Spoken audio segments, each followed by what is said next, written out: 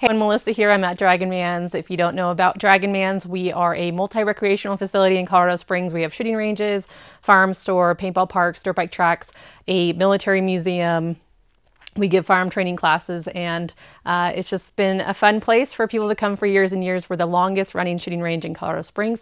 We've been here since 1982 now if you've been watching this channel i've just been trying to keep you guys all up to date on what's going on uh, with colorado gun bills. Uh, there's been a lot of them more than any that we've ever seen in any given year so naturally, I do feel like the gun community feels like it is kind of a personal attack because there is they're just coming at every angle. A lot of these representatives, and um, I'm just going to break it down and let you guys all know the current status of a lot of these. So a couple of days ago, I made a video on um, the uh, pending assault uh, semi-automatic.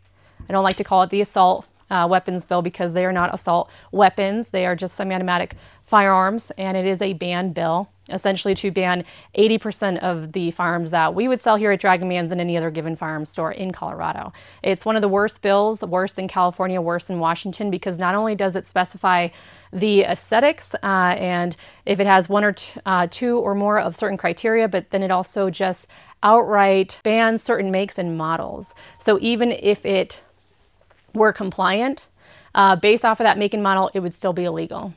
That one has currently been assigned to Senate committee. So it did pass the House, which it shouldn't even have made it that far. And last video, I had said that it went to um, a committee that we didn't want it to go to. There's three Democrats and two Republicans. What is interesting is it was, we all thought it would be on the schedule this week, Tuesday or Wednesday, and we'd all be testifying uh, publicly.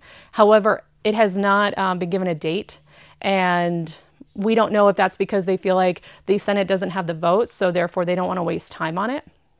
Um, or they just want to get through a lot of other bills first before they know that they have to devote a lot of time on this one. Legislative here in Colorado uh, only goes until May 8th, so every state is different. Some states pass bills all year round. Colorado legislation starts in January and ends in May, and this year it's going to end on May 8th.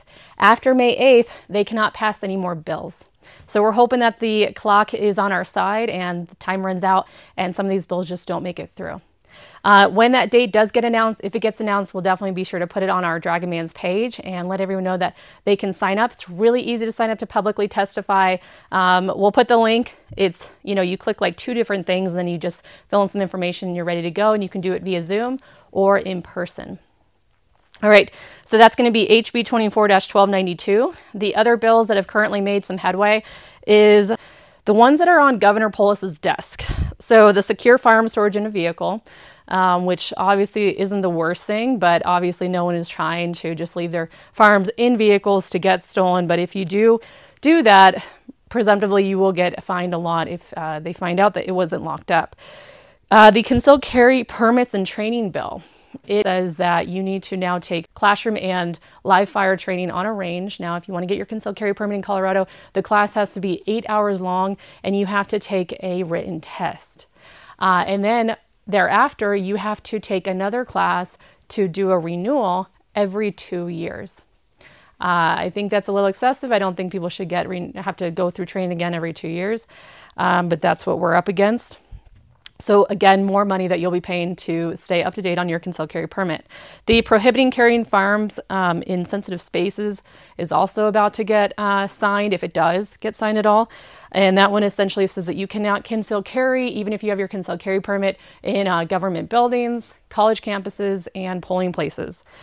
Last, the firearms merchant category code is saying that if you purchase anything in a firearms store, it's going to be tracked and potentially flagged and be under the category of firearms. Here at Dragon Man's we'll be exempt because we have multiple things going on, so we won't be under the merchant category code of firearms, neither will Shields, neither will Cabela's. So it kind of defeats the whole point of this bill, right? So if people go shopping now at Shields, Cabela's, buy a lot of ammo, they actually won't get flagged. So where do you think, you know, potential shooter might go shopping at? So with those bills that have now passed Senate, if you uh, could do something, uh, which we highly recommend, is to um, now email Governor Polis's office. He can be reached at Governor Polis at state.co.us and let him know why he should not be signing these bills into law. All right, some other uh, bills making headway. So yesterday, the Firearm liability insurance requirement was passed through the Senate Testimony Committee. On a uh, party line vote of three to two. So, uh, not surprising because we do have majority Democrat here in our Senate and our House. Uh, there are 12 Republican senators among the 35. This upcoming election is going to be really important. This firearm liability insurance will require all gun owners to now carry liability insurance. And uh, this is wild because they don't even really tell you where to get it, and there's huge penalty fines if you don't have it. Um, we would be the only state in the country to require gun owners to have this liability insurance. They will be um, voting on that. It'll go up to its first Senate reading and then its second, third. Through each reading, they do a vote on it. Think about, uh, they, they talk about amendments, and then eventually it gets to Governor Polis's desk if it makes it through all of those votes. The firearms and excise tax bill is awaiting uh, to be scheduled the date for public testimony in the Senate. So again, now you can sign up and you can publicly testify and let them know why you should not be paying 9% on guns and ammo. So pair that with the liability insurance, pair that with uh, the increased fees for concealed carry permits, all of the penalty fines. It is now just becoming extremely expensive to be gun owner in Colorado, which is probably the intent there. And um, I believe that there is something in the Constitution saying that if uh, there is fees, you know, over a certain threshold, that it can be found unconstitutional. So I uh, really see a lot of these, um, if they are passed into law, immediately being hit with a lawsuit, and uh, um, we'll see what happens with that because a lot of these are not constitutional whatsoever. The next one's going to be the firearm dealer requirement and permit, just requiring a lot more stuff for gun stores. If this one passes, I do not see very many people wanting to open a gun store. Um, and I see a lot of gun stores actually closing. This will impose a lot more fines and requirements, and now will be audited by the Department of Revenue and also ATF um, on a state level and a federal level. Um, what people don't realize is a lot of the fees to create that Department of Revenue will require a lot of additional funding. And the fees that actually the gun stores will be paying won't cover all those. So, guess where that money is coming? It's coming from the taxpayers. So, it does eventually um, affect you guys. And that one will be um, given a date for you to public, publicly testify against as well. All right, so that's what's going on in Colorado with the current bills that are um, going through.